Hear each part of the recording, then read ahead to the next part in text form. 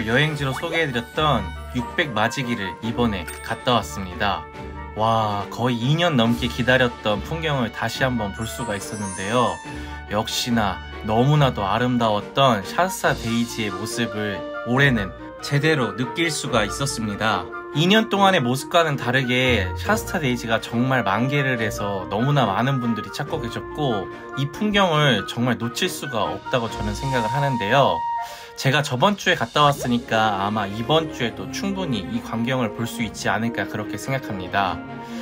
하지만 제가 정말 아침 일찍 방문했는데도 많은 분들이 올라오고 계셨기 때문에 평일 오전 일찍 방문을 저는 추천을 하고요. 제가 듣기로는 주말에는 너무나 많은 분들이 방문해서 혼잡도가 높다고 합니다. 그래도 이 풍경을 다시 한번 볼 수 있어서 너무나도 좋았고 아름다웠던 600 마직이었습니다. 그리고 또 6월 여행지로 소개해드렸던 무릉별 유천지도 갔다 왔는데요. 와, 무릉별 여천지도 작년보다 훨씬 더 라벤더가 풍성해져서 너무나도 아름다운 모습을 볼 수가 있었습니다. 여기도 역시 저번 주가 만기했기 때문에 이번 주에도 역시 아름다운 모습을 볼 수 있지 않을까 저는 그렇게 생각하고요. 라벤더가 확실히 더 풍성해지니까 작년보다 저는 더욱더 매력적이라고 느꼈습니다. 아마 라벤더를 이렇게 아름다운 풍경 속에서 볼 수 있는 거는 쉽지 않기 때문에 저는 꼭 한번 방문해 보시는 걸 추천하고요. 생각보다 평일 오전에는 방문객이 많지 않았고 주말에는 역시나 방문객이 많다고 합니다. 보랏빛 라벤더와 에메랄드색의 호수의 조합을 꼭 한번 저는 느껴보셨으면 좋겠습니다. 그리고 이번에는 숨겨진 금계국 맛집으로 한번 떠나보겠는데요. 영월 동서강 정원입니다. 이렇게 노란색이 모두 다 금계국인데요. 하지만 정말 숨겨진 명소이기 때문에 많은 분들에게 아직까진 알려지지 않은 곳입니다. 와, 도착했을 때 이 물가에 모두 금계국이 있어서 너무나도 노랑노랑한 세상을 느낄 수가 있어서 신기했는데요. 금계국은 서서히 지고는 있었지만 이 아름다움을 계속해서 볼 수는 있어서 그 부분이 매력적이었던 것 같습니다. 또 동서강 정원은 강원도의 숨겨진 수국 맛집으로도 유명한데요. 아마 2주나 3주 정도 지난 뒤에 방문하시면 수국을 가득 구경하실 수가 있기 때문에 수국 보고 싶은 분들은 조금 시간이 지난 뒤에 방문하시면 아름다운 수국을 즐길 수도 있는 여행지입니다. 다양한 매력이 있는 동서관 정원을 저는 적극 추천해 보도록 하겠습니다. 그리고 정선에도 역시 샤스타 데이지 명소가 있어서 여러분들께 소개해 드릴까 하는데요. 지금 하이원 리조트에 방문하시면 아름다운 샤스타 데이지를 정말 넓은 부지에서 감상하실 수가 있습니다. 제가 도착했을 때도 역시 이 하얀 계란 후라이 꽃이 만개에 있어서 아름다운 풍경을 즐길 수가 있었는데요. 이 스키장 슬로프에 피어 있는 것이 너무나도 신기하기도 했고 주변 정선의 풍경들과 어우러져서 훨씬 더 매력적이지 않았나 저는 그렇게 생각을 합니다. 충분히 즐길 만큼 긴 코스에 있기 때문에 저는 여유롭게 즐겨보시는 걸 추천하고요. 저는 맨 위보다는 중간에 있는 포인트가 훨씬 더 매력적이었다는 걸 여러분들께 알려드리겠습니다. 그리고 이번에는 철원으로 한번 떠나보겠습니다. 올해 고석정 꽃밭이 꽃 개화가 늦어져서 다소 아쉬웠던 분들이 많은데요.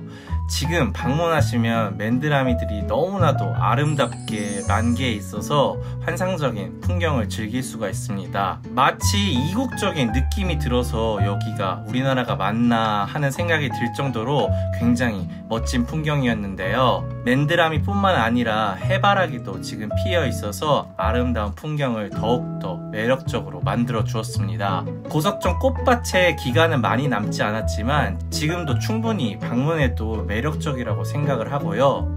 그리고 안쪽으로 들어가시면 수레국화가 저는 처음 보는 핑크 수레국화도 볼 수 있었습니다. 모두 다 꽃이 피어 있는 것은 아니지만 지금 충분히 방문할 만하기 때문에 철원의 매력적인 풍경도 한번 방문해 보셨으면 좋겠습니다.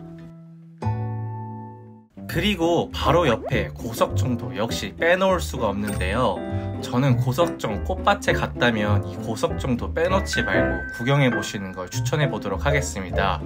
이 철원의 풍경들이 너무나도 신기하기 때문에 굉장히 저는 매력적이라고 생각을 하는데요. 고석정 주변의 풍경들도 굉장히 매력적이어서 저는 꼭 한번 방문해 보셨으면 좋겠다고 추천해 보도록 하겠습니다. 하지만 여기 내려가는 길은 경사가 있고 계단이 있기 때문에 이 부분 꼭 기억하셨으면 좋겠습니다. 그리고 내려가면 유람선을 탈 수 있는데 저는 이 유람선도 개인적으로는 한번 타보는 걸 꼭 한번 추천하거든요. 그래서 이 아름다운 고석정의 풍경을 제대로 한번 느껴보셨으면 좋겠습니다. 꽃밭 보고 고석정까지 함께 이 철원의 풍경을 즐기시면 더욱더 좋을 것 같습니다. 그리고 이 더운 여름에 철원에 꼭 빼놓을 수 없는 폭포도 소개해 드릴까 하는데요. 한국의 나이아가라라고 불리는 직탕 폭포입니다. 나이아가라라고 해서 엄청난 기대를 하고 오시면 조금은 실망하실 수도 있는데요. 크기는 미니미지만 방문하시면 정말 시원함을 가득 느낄 수가 있는 직탕 폭포입니다. 이 철원의 현무암을 타고 흐르는 폭포수들이 너무나도 저는 매력적이라고 생각을 했는데요. 사실 어디 가서 볼 수 있는 풍경은 아니라 희귀하기 때문에 조금은 작지만 저는 꼭 한번 철원에서 가보셨으면 하는 풍경이 이 직탕 폭포입니다. 이 뒤쪽에 그리고 현무암으로 만든 돌다리도 있기 때문에 건너가시면 반대편에서 직탕 폭포도 볼 수 있어서 꼭 한번 건너가 보시는 것도 추천하고요. 이 더운 여름 소리부터 시원한 직탕 폭포의 매력을 가득 느끼고 오셨으면 좋겠습니다. 그리고 이번에 소개해드릴 곳은 아마 우리나라에서 가장 작은 몽돌 해변이지 않을까 싶은데요. 바로 한섬 몽돌 해변입니다. 영상에 보이는 요만큼이 해변인데요. 하지만 몽돌로 돼 있어서 한섬 몽돌 해변이라는 명칭 또한 갖고 있습니다.